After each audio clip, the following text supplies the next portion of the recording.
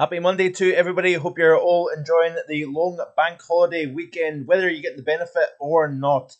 Be sure to hit that like button, share with your friends and family, and subscribe to the channel. Did you get the chance to see or read the European forecast for the upcoming summer season? I delivered it yesterday in the live stream at 4 p.m. and you can check that out. If you happen to miss it, you can check that out. Just simply click the live tab uh, on the playlist here on the channel and you can watch that back in detail. I basically just combed through what was written, giving you the, the backing to the ideas that I had, building the evidence to support the forecast that I've got. And we shall wait and see what happens as we move into meteorological summer. So, obviously, we do have quite an unsettled picture as we end the month of May, begin the month of June. Well, that remains to be uh, seen.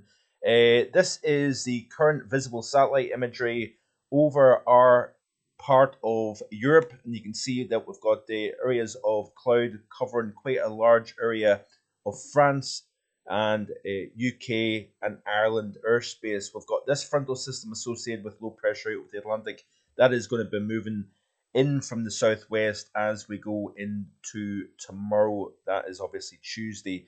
You can see here this little swirl of cloud cover just to the west of uh, Ireland as well.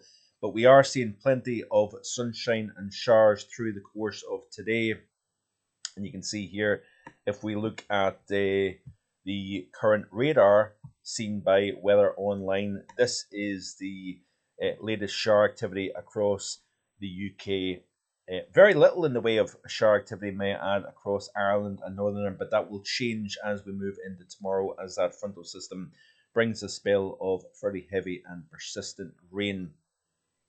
Temperatures, uh, no great shakes for early Monday afternoon. You can see here widely 16, 17 north and very similar across the rest of the UK here, all the way down to the south coast. We're only talking about 16, 17 Celsius, as you can see here in Northern Ireland and the Republic of Ireland. We're generally in the low to mid teens at the moment here. So this is early afternoon uh, at the time I'm recording today's video looking at the uh, the overview chart here of the GFS, this is the current situation. There's that area of low pressure as uh, shown in the satellite image just a second ago. There's another area of low pressure out over the central North Atlantic. What is going to happen is uh, we've got low pressure dominating at the moment, so therefore with plenty of strong incoming solar radiation, and that is allowing the atmosphere to bubble up and produce these showers, local thunderstorms, and longer spells of rain also. So as we move out of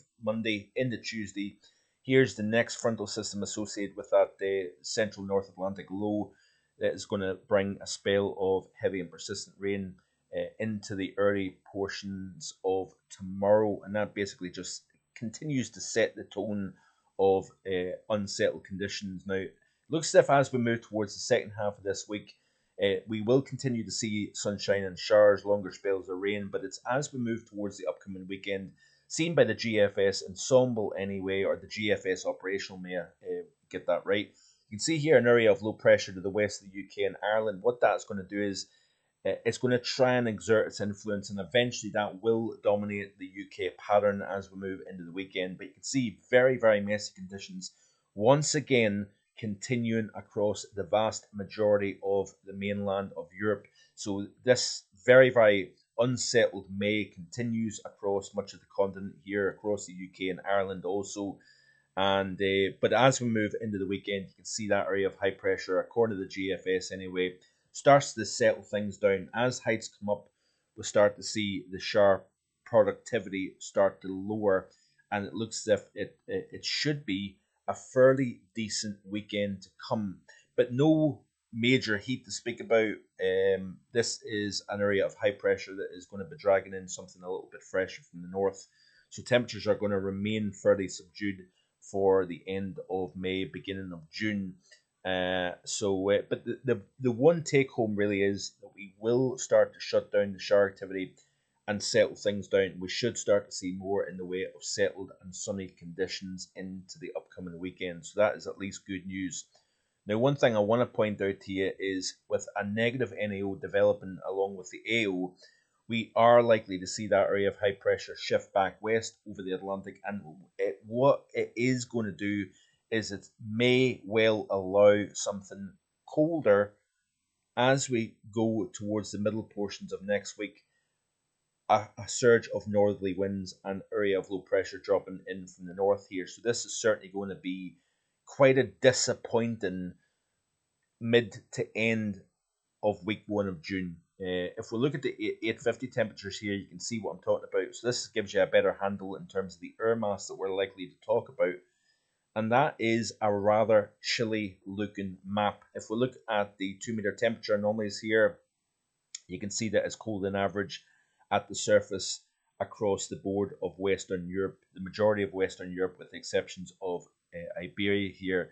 But this certainly does look as if it is going to be a surge of chilly conditions that will drop south and it may linger well into you know day 7 through 10 of june which uh, is quite a no- notable period actually of uh, below average temperatures now if we look at the cfsv2 here for the two uh, temperature anomalies for the for a seven day period this is week one and it's actually showing slightly below average now that may be a little bit uh, overdone in terms of cold on average but nonetheless, you're getting the general idea here.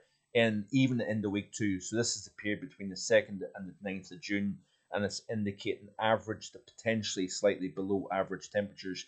Then it looks as if the model indicates warmer temperatures uh, coming back into play once again. In terms of precipitation, like I say, albeit it's it's looking cooler, week one still looking wet because we've got all the showers around at the moment, and that's going to continue through the remainder of this week but settle things down as we move towards the weekend, hopefully. Week two, you can see here that we have got the period between the 2nd and the 9th of June. It's showing below average rainfall, which is good news, obviously. And uh, but you can see here the reason for that shutdown in shower activity and rainfall is that we will replace low pressure, as can be seen here, with higher pressure into week two. So, uh, so that's something to take a little note of as we go into uh, the month of June here. So it looks as if it's going to be uh, somewhat drier than what we're seeing at the moment, but also nothing really to write home about in terms of temperature. It actually looks as if it could be colder than average. Uh, let's have a quick look actually at the current Euro European temperatures because I haven't shown that in a little while here just to kind of give you a rough idea. Sorry about that. Uh, still speaking about some fairly significant warmth up the eastern side of the continent, cooler across the west, with the exceptions of southern and central Spain. We've got, we've got temperatures in the upper 20s, even low 30s at the moment here. Uh, fairly subdued temperatures under a lot of cloud cover across much of France and into the, the low countries here and the UK, obviously. But further east, where we've got higher pressure, we're speaking about temperatures as high as 27 Celsius close to the Arctic, Arctic Circle here uh, of Scandinavia and down into the, the, the Baltic region here, so Lithuania, Latvia, um, and um, is is talking about generally upper twenties, which is considerably warmer than the late May average. Um, finally, I want to show you this here. This is a tweet actually. So obviously the summer forecast was put out yesterday, but um, it didn't. I wasn't able to show the the graphics properly on the actual written forecast. So I'm going to just quickly glance back at this. This is by World Climate Service, and these are the findings for similar sea surface temperatures currently to past years. So the years that um, they've found most similar is 2023, 1967, 2017, 2008, 1953, 2020, 98, 62, 07, and 99. And generally speaking, for the June through August period, the findings with those years show lower than average pressure over the UK, Ireland, and near continent, above average across, say, Iberia and also across southeastern Europe here, which is quite interesting. Kind of fits quite nicely with my overall ideas. This is what I didn't show you, unfortunately, and I forgot to do that. This is temperature anomalies based on those years compared to what we've got now. You've actually got below average conditions across the UK, uh, or sorry, across Ireland and parts of Northern Ireland, average across the bulk of the UK, with the exceptions of warmer than average across the southeast. in terms of precipitation, quite important, fitting with the ideas that I've got, showing wetter than average conditions. As I've said, a warmer than average summer, but a, a slightly wetter than average summer is what I think is going to be the case here. And this is a 100 meter wind speeds here, based again on those years. You've actually got, it looks like, above average wind, if I'm reading that chart correctly, um, and seen by the, the World Climate Service. Now, I also wanted to show you something that, I, again, I forgot uh, to show you in yesterday's live stream was findings with regards to the Indian Ocean dipole here. I thought this was quite interesting because again it kind of related somewhat to uh, the European summer pattern. So it basically says that the latest Copernicus ECMWF models still show a significantly positive Indian Ocean Dipole or IOD in the months ahead, although they've backed off a bit from last month. A positive IOD tends to favour a hot, dry summer in Central and Eastern Europe. Now, remember what I said the biggest heat is going to be Southern and Eastern Europe, I think, with back and forth and limited extremity of heat across our part of the world, UK and Ireland and near continent. I think the wet ground is going to have a feedback enhancing um, water vapor within the atmosphere, and that tempers the strength of heat that we can uh, see when you tend to have wetter than average soil moisture content. I also question the idea with regards to the wet ground actually enhancing lower pressure versus dry ground enhancing higher pressure. That uh, is very much open to debate and question and your own opinion. But my opinion is there is a possibility that the soil moisture content could in, uh, influence atmospheric pressure. But basically, it says here that the, the IOD, like I said, tends to favor hot, dry summers in Central and Eastern Europe, but usually combined with warm ENSOs, not cool. So that is the caveat to that general idea.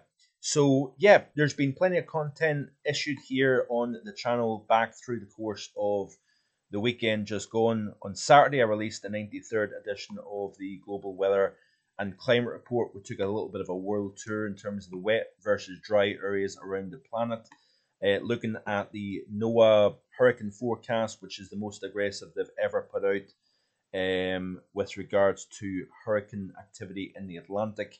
And so there's plenty of reason to hit that subscribe button if you haven't already done so. We are going to have the June outlook in the coming days to come as well. So check that out also. Uh, and let me just see if I've uh, remembered everything else. Um, these, incidentally, are the uh, the C3S multi-system forecast in terms of sea surface temperature profile for the upcoming June through August period. Warm Atlantic. We've got the La Nina signature in the Pacific as well. So you tend to have uh, sinking air over the eastern Pacific, rising air over the warm Atlantic here. What influence does that have on our pattern? pattern, I think it's likely to be the case later in the summer season. So we'll need to pay attention to that. But certainly a very interesting summer coming up nonetheless. So I hope you can stick around during the course of the summer and we'll follow the weather pattern as it evolves. Enjoy the rest of your Monday and I'll see you hopefully tomorrow with more. Bye for now.